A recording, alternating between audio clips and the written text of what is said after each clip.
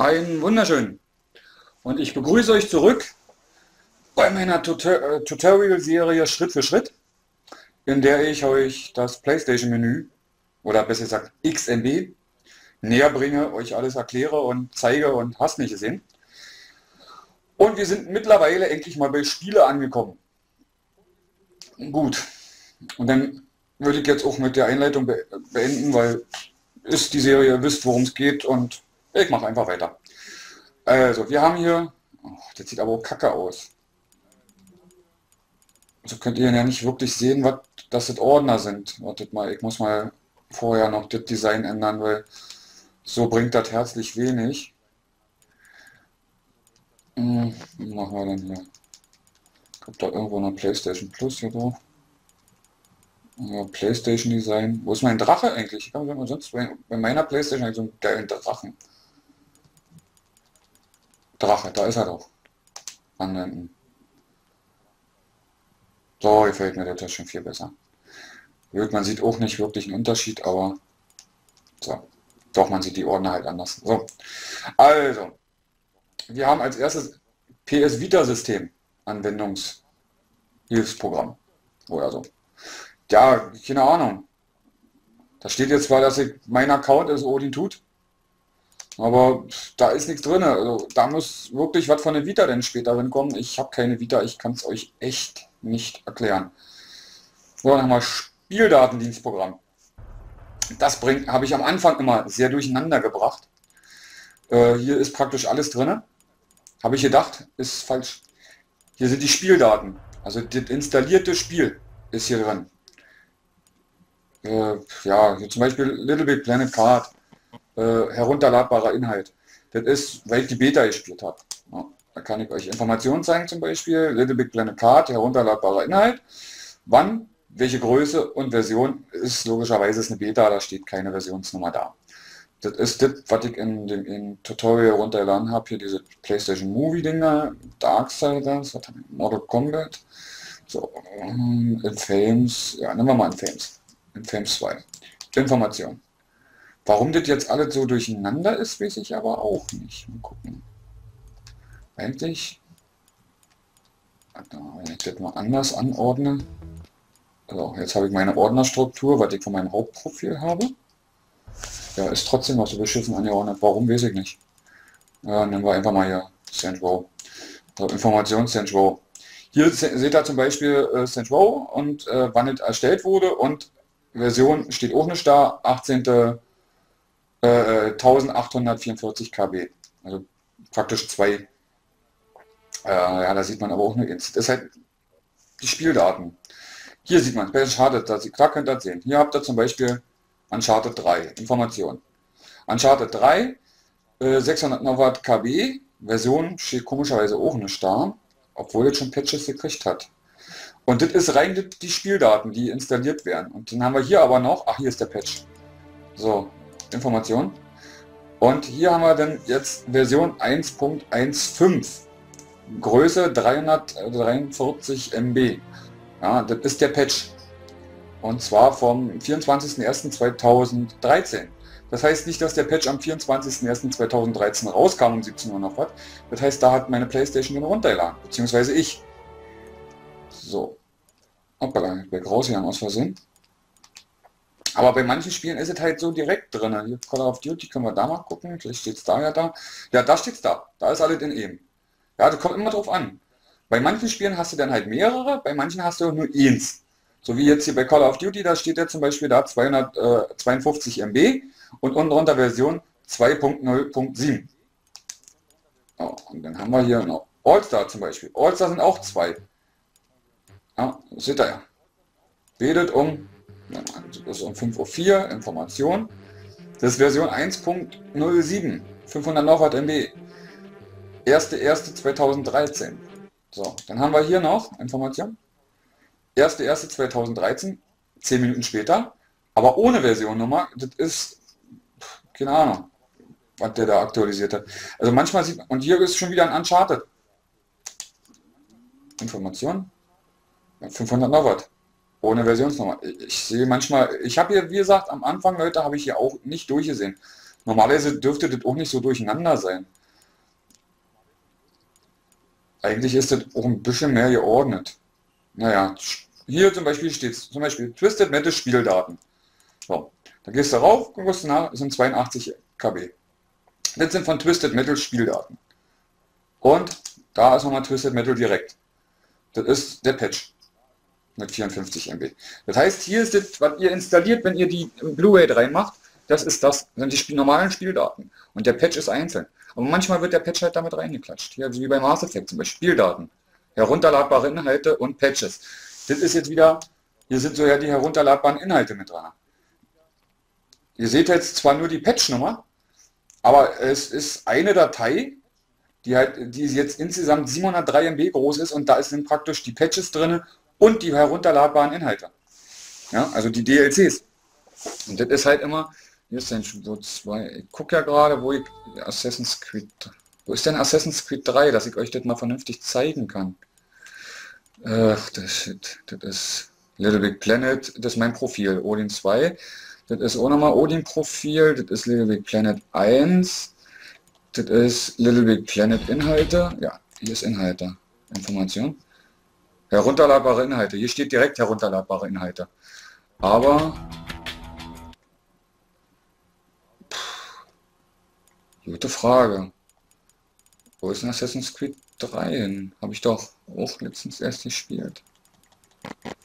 Hat doch eigentlich auch eine Installation Heavy Rain. Ah, Assassin's Creed 3. Da haben wir es. So. Hier haben wir nur eine einzige Datei wiederum. Ja, die ist natürlich dementsprechend groß. Ja, weil Assassin's Creed, äh, ich habe es ja extra mal vor mir liegen hier, hat beim Installieren 4,5 Gigabyte. Ihr seht aber, dass es hier weitaus größer ist als 4,5 Gigabyte. Wir sind bei 6, knapp 6,5. Also 6418 MB sind wir. Aber es liegt daran, wir haben da Versionsnummer 2.0.1. Es gab schon zwei große Patches, sehr große Patches. Äh, einfach mal bei uns im Blog gucken, da steht das erklärt, was da verbessert wurde und so. Und meine DLCs sind hier drin. Da ich ja, wenn ihr äh, YouTube verfolgt und den Blog verfolgt, äh, ich und der Crazy, wir haben ja äh, die große Version für 99 Euro von Assassin's Creed 3 plus Season Pass, den haben wir ja auch. Und äh, dadurch wird alles natürlich, die DLCs hier drin geladen. Wenn ich jetzt dazu gucke, was mal, ich habe gestern habe ich die Schande runtergeladen und gleich durchgespielt und Heiko aufgenommen, kommt auch heute hochgeladen. Hm, hat alleine 300 noch was MB. Und dieses kommt alles mit zu den normalen Spieldaten. Also wie ihr seht, wie die, wie die Publisher das machen, ist denen wohl angeblich überlassen. Also es gibt verschiedene Möglichkeiten, wie es aussieht. Entweder habt ihr eine Datei, wo Patches DLCs und hast nicht gesehen drin ist, wie bei Assassin's Creed, habt ihr ja gerade gesehen. Hier, One Piece. One Piece einmal und hier ist nochmal One Piece. Das ist, mal gucken, Information. Ja, das ist Version 1.0.1. Das ist der Patch. So, und das wird dann gehen mal die Spieldaten dann sein. So. Ja, 4, noch was MB. Ich hab das, äh, na 4 GB. Ja, das wird das Spiel, das installierte Spiel sein. So, das ist die zweite Möglichkeit. Game of Tron.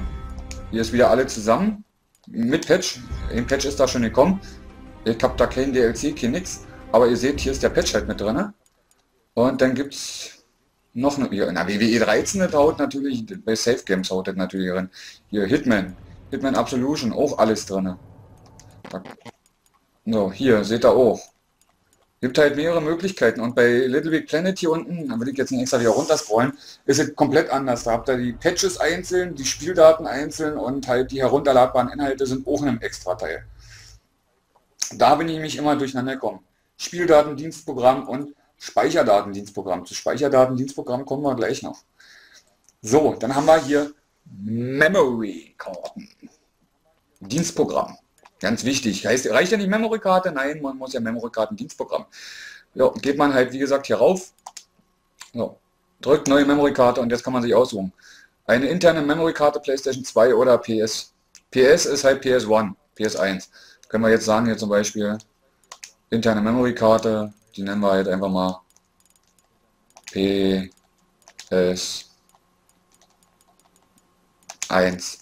So, die speichern wir jetzt ab. So. Interne Memory-Karte wurde Steckplatz 1 zugewiesen, um Steckplatz 1 zu wechseln, bla bla bla bla. Ja, so. Jetzt erstellen wir nochmal eine andere. Wir machen jetzt noch eine PS2 Memory-Karte. Dass ich euch das auch wirklich mal zeigen kann, dass das wirklich funktioniert. Also der Chris hat gemeint, ich habe noch kein PS2-Spiel aus dem Store gezogen, aber der Chris hat gemeint, das brauchst du wohl für die Spiele aus dem Store, was ich jetzt nicht glaube. Die wird man auch so speichern können, weil die sind ja intern. Ja, wurde mein Punkt 1 so. Also ich glaube, das ist ein Überbleibsel aus der Fat Lady, weil die konnte ja auch PlayStation 2 Spiele abspielen. So, PlayStation 1 geht immer noch. Die, die könnt ihr, ich habe jetzt leider kein PlayStation 1 Spiel hier. Ich habe irgendwo mein Yu-Gi-Oh! liegen. Oh, scheiße, war ich nicht. Ja, ich ich habe jetzt auch keinen Bock zu suchen. Äh, ich habe irgendwo noch ein Yu-Gi-Oh! ein PlayStation 1 Spiel. Das geht wirklich, ich habe schon getestet. Aber halt bevor ich meine neu gemacht habe. Und ihr seht, es sind keine Daten da. So. Man kann halt mit einem USB-Stick äh, auch aus dem Netz halt zum Beispiel PlayStation 1 Spielstände laden. Oder jetzt, wenn man eine PlayStation 1 hat, gibt es ja eine Memo gibt's ja Memory-Kartenadapter für einen PC. Und dann kann man die Memory-Karten, die Speicherstände auf den PC ziehen. Logischerweise auch dann auf den USB-Stick. Und wenn man das kann, logischerweise USB-Stick in die Playstation und auf die Playstation auf. Ist kein Ding. Also wenn, wenn ihr noch alte Spiele habt auf der Playstation One, die auf eurer 3 spielen wollt oder weiterspielen wollt, weil eure Playstation One ein bisschen ruckelt oder ihr wollt den Laser schonen oder sonst was dergleichen, äh, Spiel einfach einlegen, so einen Adapter holen und Safe Game darauf packen und fertig ist. Äh, PlayStation 2 sieht was anderes aus. PlayStation 2 äh, ja, keine Daten gefunden, ist klar. PlayStation 2 Spiele könnt ihr nicht in die PlayStation 3 einlegen und spielen. Ihr könnt euch nur PlayStation 3 Spiele aus dem Store runterladen. Äh, zwei Spiele aus dem Store runterladen. So, jetzt werde ich die mal löschen, weil die brauchen wir jetzt nicht mehr. Aber es funktioniert wirklich. Ich habe es getestet mit meinem Yu-Gi-Oh! Wie gesagt. Und hier haben wir jetzt äh, Spieldatendienstprogramm. Ne, Speicher. Achso, ja, Speicherdaten, wundern jetzt, warum das leer ist. Ja, Speicherdatendienstprogramm PlayStation 2. Ja, ist ja logischerweise nicht drin, ich habe kein PlayStation 2 Spiel runterladen. Speicherdatendienstprogramm Minis. Ich hatte Minis, habe auch Minis gespielt, aber hier, das war immer leer. Warum? Was die BN-Ordner hier sollen, ich habe keine Ahnung. So, hier kommen wir jetzt natürlich der Sache was näher. Hä? Speicherdaten? Wieso sind meine Speicherdaten leer? Ach ja. Ja, mit dir ist ja mein, das ist ja mein, mein, mein, mein, mein, mein äh, Tut. Mein Tut-Profil. Hab mir jetzt schon gewundert, warum meine Speicherdaten wechseln. Ich habe ja hier nur Hüter des Lichts gespielt und äh, für euch, um euch das mal zu zeigen und halt einen Gamecheck davon zu machen. Wobei ich am überlegen bin, wann ich da jetzt äh, äh vielleicht so ein Let's Play dazu mache. Bei Interesse einfach drunter posten. Mal gucken, ob irgendjemand überhaupt daran Interesse hat. Äh, ist nichts drin. Ich könnte das jetzt natürlich hier ja, hm, mehrere kopieren. Hm, gut, kann kopieren und löschen und so. Aber ich kann jetzt nicht zum Online-Speicher hochkopieren, weil dann sagt er hier, ich muss PlayStation Plus Mitglied sein. Ich könnte es jetzt natürlich auf ein anderes Profil. Manche Safe Games sind ja nicht äh, äh, profilgebunden. Äh, die kann man dann auf ein anderes Profil verschieben und wenn man da Plus ist, kann man sie sich dann halt hochladen. Das wäre jetzt kein Problem. Aber manche sind halt wirklich profilgebunden und die gehen dann halt nicht hochzuladen. Obwohl, wenn du denn natürlich nicht mit dem anderen Profil benutzen kannst, aber kannst du hochladen zum Online-Speicher, kannst du jederzeit wieder auf dem dementsprechenden Profil wiederherstellen. Das wäre auch eine Möglichkeit. Den Online-Speicher, das werde ich alles äh, bei PlayStation Plus spezial erklären. Da, da wird es am Ende dann noch ein Spe äh, Spezial zu PlayStation Plus geben. Das mache ich dann über meinen Hauptaccount und da zeige ich euch die ganzen Vorteile von PlayStation Plus und wie es funktioniert. Und das geht jetzt hier leider nicht in meinem äh, Profil vom Tutorial, weil äh, da bin ich kein PlayStation Plus Mitglied. So, den Store werde ich auch nochmal, äh, wenn wir zum Menüpunkt, wo haben wir denn hier, Network kommen und dann im Store sind, dann werden wir, äh, werde ich das nochmal komplett den Store auseinanderpflücken, euch alle zum Store erklären und zeigen und machen und tun. Wäre Blödsinn, wenn ich den jetzt hier schon mit drin nehme. Hier habe ich jetzt das Disk-Symbol. Bei mir steht da jetzt logischerweise Assassin's Creed 3, weil ich Assassin's Creed 3 drin hatte, weil ich ja die Schande gespielt habe gestern und mir äh, 100% geholt habe. Ja, da habe ich gestern bis heute früh um zwei, drei da nochmal die ganzen Missionen in der Wildnis gesucht, wie ein Bescheuerter. Weil ich hatte alle komplett nur die Wölfe nicht. Ja. So, Singstar. Haben wir auch im Angebot. Hat auch Ton. Und ja, ich habe mein Headset gerade nicht auf. Äh, Singstar, ja, da könnt ihr Singstar spielen. Und bei der Anwendung könnt ihr so ja eure Kamera, euer Kameramikrofon benutzen. Das funktioniert auch. Ja, was ich bisschen blöde finde, das Singstar, das ist so ein fettes Icon, das passt hier nicht ins Menü rein. Da hätten sie lieber das von, von der Trophäensammlung, so ein kleines Blaues nehmen sollen oder hier sowas. Einfach nur da so, so, so, wie, so ein kleines viereckiges Symbol und da halt ein Singstar-Logo drin und fertig ist. Aber das, das finde ich hässlich. Das ist viel zu groß, zu klobig, das passt da ins Menü nicht rein. Das haben wir halt selten Update, haben wir das. Scheiße. So, hier habe ich jetzt meine Ordner. Wie ihr seht, die sind jetzt schon benannt. Ich drücke jetzt mal Viereck. Wenn ihr Viereck drückt, so, das wäre jetzt praktisch ohne Ordner. Da ist alles untereinander. Ist natürlich ein bisschen doof. Und könnt damit mit Viereck immer wechseln. So, das ist der Original PlayStation Ordner. Der wird euch automatisch erstellt. PlayStation und die sind eher im Kreis 3. Da habe ich jetzt 74 Titel drin. Da gehe ich rauf und dann habt ihr natürlich die Titel, alles was ich jetzt als letztes gespielt habe oder runtergeladen habe, das habe ich ja noch nicht gespielt, halt ganz oben und dann kommen halt die anderen Sachen. So. Und das ist meine Ordner. Struktur. Der Crazy Freak, der hat es natürlich ganz anders. Der hat sich wirklich jedes Spiel in eine Kategorie geklatscht, wie Jump in One, Shooter und hast nicht gesehen, sonst äh, weiß ich nicht, so viele Kategorien habe ich gar keinen Bock darauf. Ich habe mir das lieber so gemacht. Ich habe hier PS3 Online-Spiele. So, da kann ich drauf gehen. Da habe ich jetzt meine Online-Spiele, Saints Row. Dann habe ich, das habe ich mir gekauft im Ösi. Äh, Little Big Planet habe ich als PlayStation Plus Mitglied bekommen. Das habe ich von Chris. Das habe ich auch als Plus. Plus von Chris. Das habe ich gekriegt, weil ich glaube ich äh, Row 3 äh, mir damals gekauft habe. Ich hatte es ja damals als Vollversion. Ich habe es ja dann nochmal im Store gekauft. Äh, und da habe ich die Version gratis bekommen aus Ösiland. Kann ich euch auch zeigen unter Informationen. So, hier steht äh, PS3, da, Odin Österreich. Da habe ich Detail aus der österreichischen, aus dem österreichischen Store jetzt so. So, äh, TV Superstar habe ich von Chris. Split Second, Mod Nation, Little Big Planet und Burnout. So, die sind in meinem PlayStation 3 Online-Spiele. Und warum? Weil das sind alle Spiele, die man online spielen kann. Ja. Ich habe jetzt hier auch, ja, ein paar fehlen jetzt. Ich habe jetzt noch nicht jetzt geordnet. Das werde ich jetzt gleich mit euch machen. Ich habe nämlich extra ein paar nicht geordnet. So, jetzt gehen wir hier und drücken Dreieck. Gehen auf Informationen. Ich markiere einfach das. Und jetzt könnte ich den Ordner umbenennen. Ich will ihn aber nicht umbenennen. Ich sage einfach kopieren. Und ich kopiere mir alles. So. Das ist, wenn man jetzt mehrere neue Spiele hat, macht sich das, wie ich jetzt zeige, am besten äh, damit man auch immer wirklich die gleichen Ordner hat, weil äh, wenn du die kopiert hast, wenn die Playstation neu startet, ist das logischerweise gleich wieder raus. So, jetzt gehen wir hier auf Playstation 3 Spiele. Hier habe ich jetzt die Spiele, die nicht online fähig sind, in Fames, in Fames 2, alles wie gesagt aus dem Store. Das ist aus dem US-Store hier, Prototype. So, God of War, God of War 2, Crisis 1, ähm, Motorstorm Apokalypse. So, und das müssen wir natürlich auch umbenennen kopieren. Also um nicht umbenennen, wir wollen es einfach nur kopieren. So, gehen wir raus.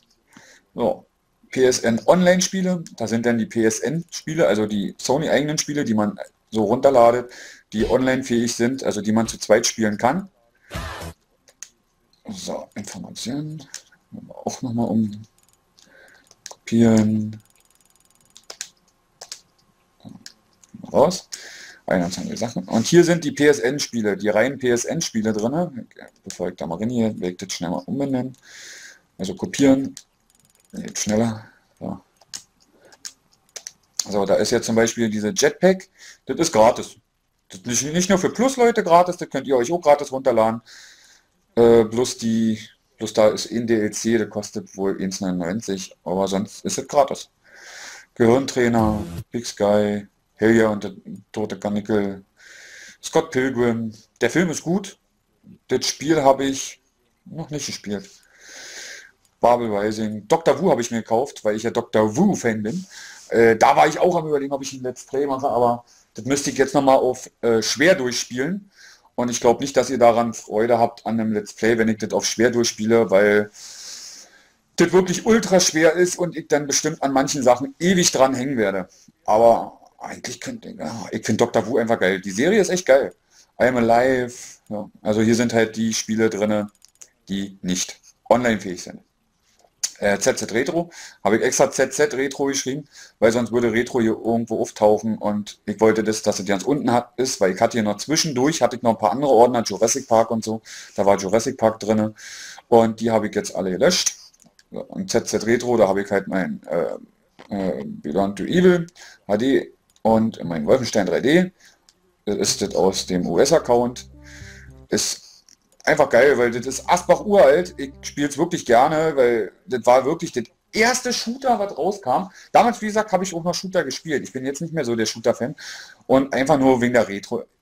Das ist einfach cool. Also das, das war ja das war ja bahnbrechend, das Spiel damals. Weil hat ja ganz neue Horizonte geöffnet. Kann ich euch nur ans Herz legen. So. Äh, da gibt es auch eine gute Demo, äh, Quatsch, Demo, äh, eine, eine, eine gute Dokumentation. Oh, die Hike auf meiner Festplatte. Die ist auch über, jetzt wohl gerade bei Spielen bin, bin, da kann ich euch das vielleicht mal zeigen. Wenn er die Festplatte 8 annimmt, heißt das. Oh, jetzt muss ich mal die Festplatte anspringen.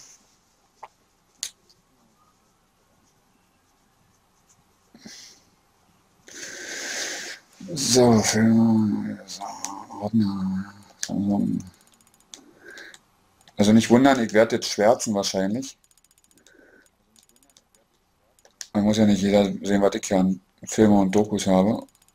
Und so, jetzt bin ich gerade am überlegen, wo das, da Gamer-Dokus, da haben wir doch. So. Da haben wir doch 1 bis 4. Genau. Das ist die Gamer Games Odyssey. Odyssey 1 bis 4 heißt es. Da kann ich euch echt nur ans Herz legen. Äh, Gibt es auch bei äh, YouTube zu sehen. Also einfach mal gucken. Games Odyssey 1 bis 4. Oder sucht da einfach Games Odyssey 1, Games Odyssey 2, 3, 4. Ja. Also kann ich euch echt nur ans Herz legen. Ist echt wirklich geil. Äh, das ist jetzt von CT. Das ist, äh, Gaming. Achso, ja, das ist von Assassin's Creed 3.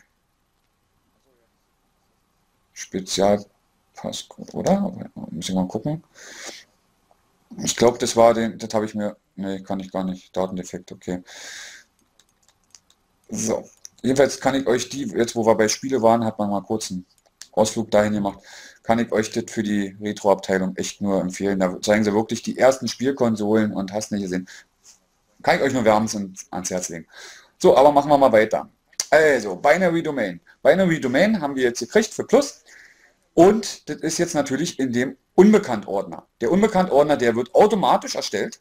Ich habe ja meine Ordner, die habt ihr hier gesehen. Und, und der ist automatisch da, unbekannt. Da kommt alles das drin, was ich neu installiere.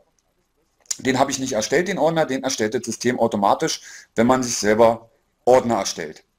Reicht schon ein Ordner erstellen, dann äh, kommt dieser Ordner automatisch. So, wir gehen auf Dreieck. Wir wollen es nicht löschen, wir wollen es auch nicht hochladen. Wir wollen jetzt einfach mal Informationen.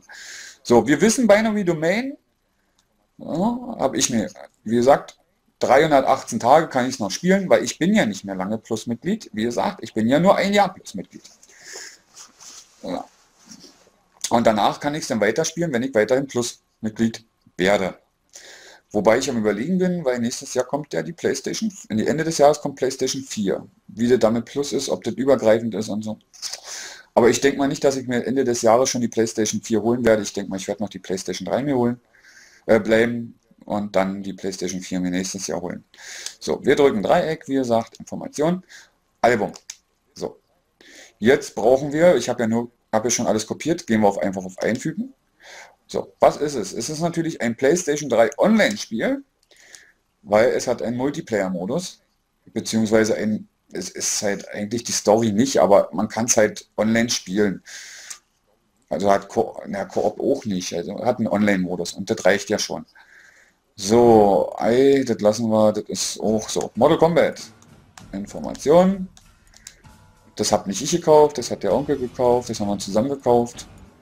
So. Achso, bin ich bescheuert? Ich gehe einfach da unten einfügen und wieder online, weil man kann es online gegeneinander spielen.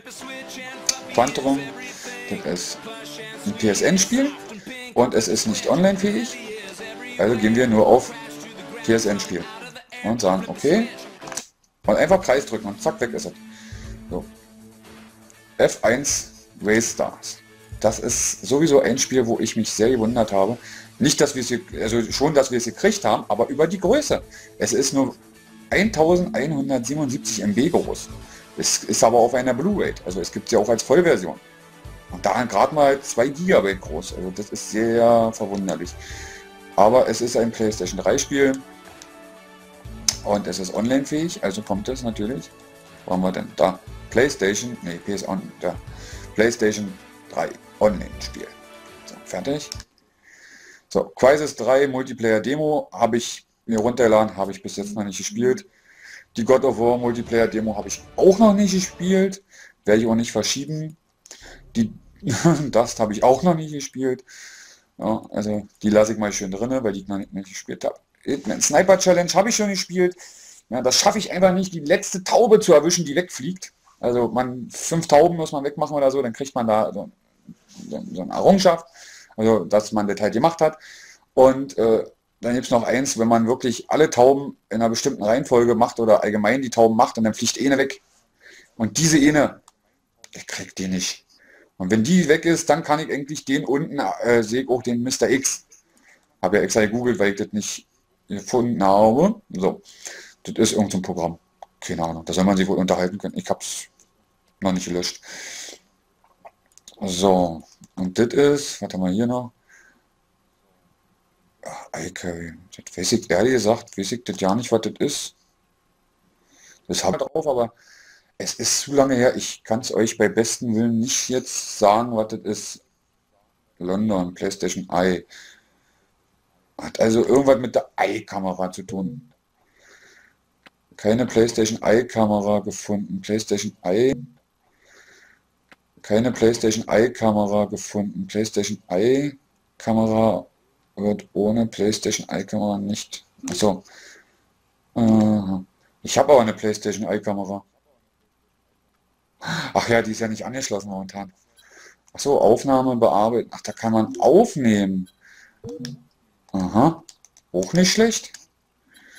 Ach, da haben wir ja Sound.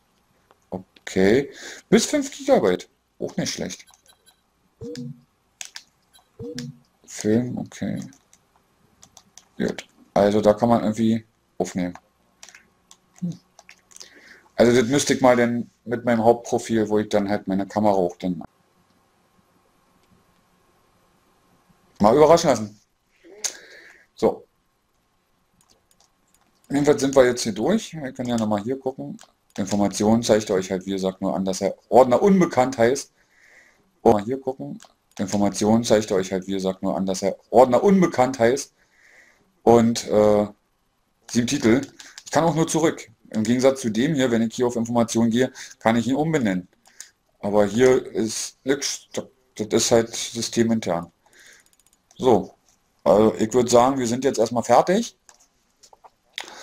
Und als nächstes kommt dann Netzwerk. Gut. Dann hoffe ich, hat euch gefallen und wir sehen uns im nächsten.